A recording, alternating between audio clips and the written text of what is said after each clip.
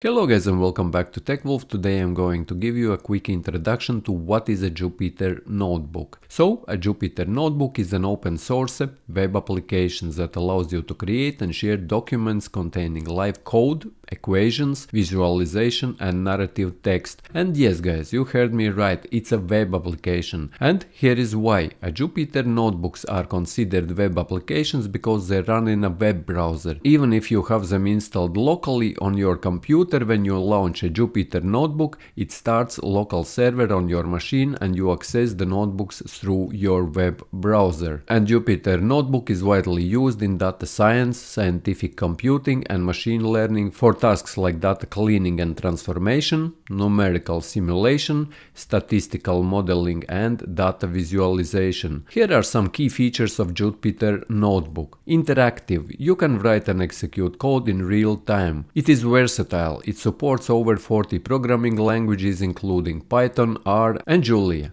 Visualizations easily create charts and graphs using libraries Matplotlib, Plotly, and Bokeh, and documentation combine code with rich text elements such as paragraphs, equations, images, and hyperlinks. And collaboration share your notebooks with others and collaborate on them through platforms like GitHub. And here you have it. This is a quick breakdown of what is Jupyter Notebook. And if you found this video useful, leave a like, share this video, subscribe to the channel if you are new, and and see you in the next one.